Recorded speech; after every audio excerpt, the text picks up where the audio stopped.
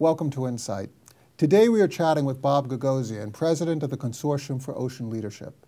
The consortium represents over 100 of the leading public and private ocean research education institutions, aquaria, and industries. Together they advance research, education, and ocean policy. Bob has generously agreed to share some of his experience with us. And I'd like to thank you, Bob, for joining us today. My pleasure. So tell us about the consortium. You have 100 members, and these members represent a variety of capabilities and interests. Tell us about, about how this came together and, and what you do together. Well, about uh, five years ago now, uh, two organizations, one called the Joint Oceanographic Institutions, and they manage the Scientific Ocean Drilling Program for the National Science Foundation. In other words, it was an infrastructure program, like right. a big drilling ship, and get scientists out to sea to try to figure out, for instance, past climate, evolution of the Earth, issues like that. That organization's board wanted to merge with another organization called the Consortium for Oceanographic Research and Education. And what they did was they represented the community on the Hill and with the administration with respect to the importance of the ocean for the future of our country, for that matter, the future of the world. So I had just left my job uh, as president of uh, Hole Oceanographic Institution.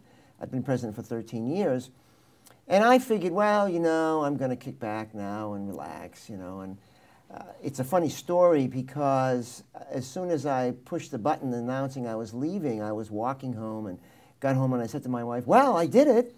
And she said, Yeah, I know. The answering machine is completely full. she said, the, the board chairs of the two boards want to talk to you. So this was a Friday. And they said, Can you come to Washington on Monday and start the merger? And I said, No, I can't because on Monday my wife and I and our two sons are going hiking in the Serengeti. But when I get back from the Serengeti, I'd be happy to give you a call. So that was the beginning. And what we do is we basically, our mission is to shape the future of ocean sciences, education, uh, technology, and research. And we do that through a number of ways. The first is we manage these big programs, like the Scientific Ocean Drilling Program. But we also manage another large program called the Ocean Observatories Initiative for the National Science Foundation. And that, that project is basically going to start wiring the ocean like we wire the atmosphere, if you will, to understand the changes the ocean is going through with respect to climate change. But also just, even if climate change didn't change, to try to understand what the oceans are about, how they work. So that's a big project. That's $400 million construction project, and with a $300 million worth of uh, operations and maintenance. And that's exciting because it's a new way of doing business for oceanographers. So you are going to be deploying um, all sorts of, um, data gathering uh, right. devices, cables. sensors, cables, and so on and so right. forth, and networking these various devices into, into hubs, regional hubs, and then eventually moving that data back to a central hub so it can be analyzed. That's right. And it isn't, it isn't eventual, it's immediate. Mm -hmm. It turns out that the cyber infrastructure, which is kind of the overlay of all this equipment. Right. Um, there's going to be four major mooring sites globally in the northern and southern hemisphere, and where the most climate change is occurring, if you will. Mm -hmm. um, and then two big coastal sites, one off of, actually, we're very close to here in Washington, D.C., and the, in the middle Atlantic, and the other off of the west coast, uh, in the Seattle, Oregon area. And all of that data will be immediately transferred to the public by the web. And so the cyber infrastructure is a big deal, and that's a new way, as I said, of doing business for oceanographers. Another key to this, there'll be 57 moorings, by the way. 57. 57. Another that's key incredible. to this, and they have to be turned every year to bring back the, uh, to, to refurbish them. Right. But there's a big cabled piece of this on the bottom of the ocean in the west coast. So that's like a big power cord mm -hmm. for some of the data that we can understand with respect to tsunami formation, right. earthquakes, things like that. So it's, as I said, it's a very exciting way of doing business. So the, these two programs, the drilling program and the ocean observing program, are the programmatic piece that mm -hmm. we mm-hmm. do. We also form partnerships between federal agencies and help coordinate and facilitate the federal agency research with private research. Um, a, a, good example of the private research is we uh, manage the review process for the $500 million BP Gulf of Mexico Research Initiative. Okay. After the spill, uh, BP decided to give $500 million for research. over 10 years, 50 million a year. And so we were asked if we would, if we would manage the review process for them, and we said we'd be happy to. And this is for the recovery of the ecosystems. Exactly, for the restoration, and, and also to develop new technologies for safety, mm -hmm. and to also understand, you know, there was this big controversy of where's the plume? Is there a plume? And to help develop technologies for that. Where did the oil go, and, and so on. Exactly, and that's a very exciting project because it's 10 years of funding. Right. And so that project interfaced with the $350 million that BP, during, from the fines, uh, the federal government gave to the National Academy of Sciences. And then the 100 to 500 million dollars of research that will go from the Restore Act, which is the Clean Water Act fines. That starts to add up to some very significant money for ecosystem studies way beyond the Gulf. For instance, what are we going to do about the Arctic? A spill in the Arctic is going to be very, very difficult to manage. Right. So that's another piece of this. So we view ourselves as sort of the um, the yenta of, of mixing and matching, you know, of these different entities, from a private institution like the National Academy of Sciences to a federal institution. So you're the like matchmaker, the yenta between exactly. the, the, these various uh, organizations, right. also between commercial interests and environmentalist interests. As you're developing these, um, these networks, and these networks start to generate uh, data, who owns the data and, and who can use the data? Who has access to it? A access to the data is 100% in the public. So it's, so it's completely open? Completely open. It's immediate access, except for one particular program, and that's, that's the Clean Water Act data at the moment mm -hmm. is being collected for the, the legal challenges that, that BP and the federal government are going to have as to what, you know, what was the flow rate? So that makes a big difference what the flow rate was of the oil, of the oil that was coming out of the, uh, the, the earth, if you will. Because depending on how much oil flowed, they're fined X dollars per gallon. Okay. So if they can determine the flow rate was lower, well, then it wouldn't be X, it would be less than X. And that means the fine would be less. So that data right now is confidential. Once that uh, lawsuit is concluded, which hopefully will be in the next year to two, then the data will all be open. But all the other data is open to immediate access. And in terms of the technology that you're developing in order to deploy these devices, because in, a, in a real sense, while you have some technology out there, the actual act of deploying and then refurbishing these devices uh, is going to actually be a learning curve as well. Um, who has access to that? Who owns that technology? Well, that technology, the, the technology is owned by the public because it's government money. Uh, our organization is going to own the equipment so that we can manage the quote unquote the property management, right. asset management.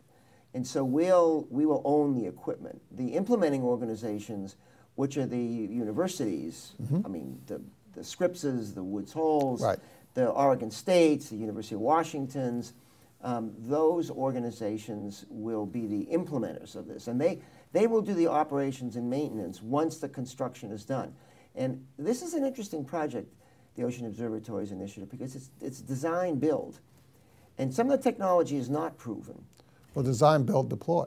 That's right, design, to build, and deploy. And, and, maintain. Exactly. Oh, yes. And so it's a real, it's another way, new, new way of doing business and another way of doing business. For instance, they're going to be building uh, garages that go in the bottom of the ocean.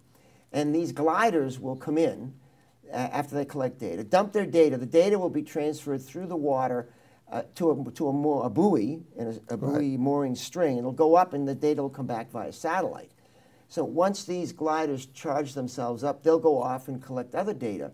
But you can also pre-program them to go to certain places that are maybe hotspots in the ocean, or that it looks like there's going to be. When you say gliders, are they swimming gliders? They're swimming. They're autonomous vehicles. They're autonomous vehicles. And are, are they right. prop uh, driven? It depends on where they are. If they're on the surface, they can be solar panel driven. Uh -huh.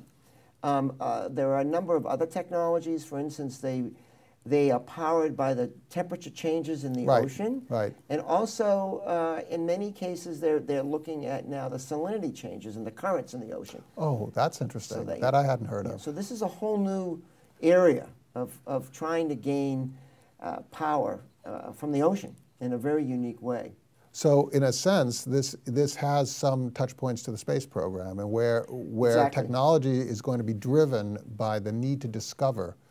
Uh, in this particular case, the need to discover how global warming is impacting uh, whole ecosystems, um, economic development along the coast and beyond, um, the, the lives of people, and that effort itself is going to develop, uh, drive new developments in technology that, that can be multiply deployed. I mean, a good example is Hurricane Sandy. Mm-hmm. Now they're talking about building seawalls, Right. you know, to protect. Well, it's not that simple because currents change, and the New York area is a very complicated area because it's it's sort of like an extended L. Right. If, if you block it here, you're going to push all the water here. So uh, how do you do this? Yes, water does tend to flow. Yeah, so, so, you, so you can't just block it's like it the here. Gulf of Mexico. Yes. The Gulf of Mexico. but Once once the water gets in there and the, the winds get in there, where's it going to go? And you, you, maybe it won't affect uh, New Orleans, but it'll affect Mississippi Right. and the other parts of Louisiana or uh, Florida. So it, it's a very complicated issue, and the biggest, I believe, the biggest issue facing the country right now, and probably the world, is the, the nexus between sea level rise and extreme weather events and climate events. And, uh, you know, there are a lot of uh, islands in the Pacific right now where people are abandoning them and moving to places like Australia. Well, think of the cultural changes that are occurring.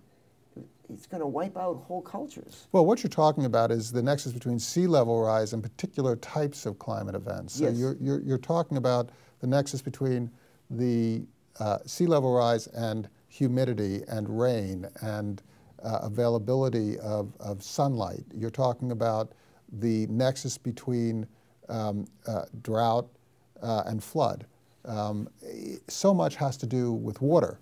Uh, so much has to do, it's that connection with um, temperature, ocean, water, land.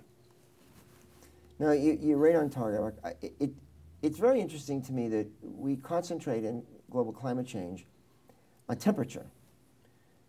But temperature is not the issue. The issue is precipitation. So when you think of the largest populations on Earth and where they're concentrated, it's in Southeast Asia. Yes. So you've got India and China, which is 40% of the population. Monsoons. Monsoon, that's the lifeblood. Well, they're coastal communities um, Exactly. with a hollowed out center um, where water is in short supply in the center. Um, and that is only going to become more extreme where the coastal communities are under threat from storms and rising sea levels, and the inland communities are under threat because dry places, arid places become drier. And being able to predict that is going to be key. So, so that's the third leg of the stool of our organization. The first leg is managing the large programs and that provide the infrastructure to actually collect the data and then disseminate the data. The second is the facilitation and coordination of the federal agencies to make all this happen. But the third is uh, basically going to the Hill and to the administration and to get them to understand what the issues are Right. and, and move them up on the priority list. I mean, for instance, President Obama's National Ocean Policy, which he, which he signed in, in the law two years ago, that was something that we pushed very hard for, but from the point of view of science being the foundation of the policy. So our role is to make sure the science is front and center on, on all of these uh, advocacy issues for ocean policy. And that's why we're so involved in these acts that I mentioned about the BP oil spill. Um, yes, they're going to replace the casinos and the, and the docks, but on the other hand, if you really want to protect the shoreline for the future, how do you get these mangrove swamps back up? You know, they all got wiped out. They were a natural protection for the, for the Gulf. If, if the Gulf gets another Katrina now, it will be much, much worse than the original Katrina because the buffering is gone. One of the things that is interesting to me, though, is that you talk about these different impacts. How do your projects interact with things like international treaties, uh, international communities, other um, uh, uh, nations that either uh, border the oceans or have interests in the oceans? Um, and, and how do you end up with relationships that allow you to pursue your science and your research uh, as opposed to get involved in, in discussions over diplomacy? No, that's a very good question. Uh, the Scientific Ocean Drilling Program is an international program. There are many partners. Uh, Europe is a, there are the, European consortium of 17 countries. Uh, Australia and New Zealand are a partnership. Uh, India, uh, China, Brazil just joined. Mm -hmm. um, it, it, it's a very, it's, a, it's an open, if you will, open ocean uh, enterprise. And the way it's done on the scientific ocean drilling vessel, the JOIDES resolution, is that each, each country contributes so much to the operation of the ship, and they get so many bunks on the ship. Right. It's, a, it's a very simple business plan. If, if you were to say to me, uh, Bob, I have a country, uh, and I, I would like to get involved in scientific ocean drilling, I would say to you, well, uh, you need to contribute $3 million from your country, and you get two bunks. Uh, and you also get a say in the science and where the ship goes. Uh, the Koreans have just joined as well, uh, and so the South Koreans. And so consequently, it's, it's, a, it's a very good plan because everybody contributes financially. They gain by going out to sea and getting the samples and sending their own people, but they also gain in the scientific, in the process of, of where the scientific drilling holes are going to be done. And that project's 40 years old. It's undergoing a renewal now. And uh, I it's probably the most successful international program the National Science Foundation has had. Now, the, the Integrated Ocean, the um, uh, Ocean Observatories Initiative, now, obviously that's part of the Global Ocean Observing System, right. okay? And again, a lot of countries are involved in this. Um, it's a very big deal in South America. It's a very big deal, and very big deal in the Southern Hemisphere for the following reason two thirds of the ocean is in the in the uh, uh, where we are. Right. Okay, top half of the globe. Okay, northern hemisphere. One third, uh, uh but one third of the uh, uh, two thirds of the ocean, excuse me, is in the southern hemisphere. Right. One third in the north. But where, where is the economy? Economy is in the north. In the north. So we have to do a better job of training and capa- well, I would use the term capacity building and teaching, if you will, and educating so that the countries that are border, bordering the ocean, they then have the capability themselves to observe. And that's one thing that's going on now with a, with a large number of groups. And it's something that we're starting up as well. So there's a knowledge transfer that is exactly, going on as well. Exactly. So, but our program is U.S.-centric. But with that knowledge is being going to be transfused, if you will, uh, and, and, and transformed and translated to other countries for their use. But along with the training mm -hmm. and the education, that's a, that's a key piece. And, and, that's one of our major interests in managing this program. It's so interesting um, what you are doing with, with your partners. It, it, it must be reasonably complex at times, although you have not said anything about it, to herd all these different interests together and to, and to make this organization particularly an organization that's just recently been merged, uh, function in, in, an effective way? It's a real challenge. Uh, I've been in academia for a long time, and, and I've been managing organizations for 20 years now. And people say, well, so what's it like to manage faculty and manage deans and directors? And I said, well, it's kind of, it's, it's not like herding chickens, uh, because chickens aren't very smart it's managing jackals. because jackals bite your ankle and they don't let go. Right. And they're very smart. Yes. But they're very persistent. Yes. And what you're trying to do is get everybody on board so that everybody wins. But of course, everybody has their own agenda of what the best science is. Right.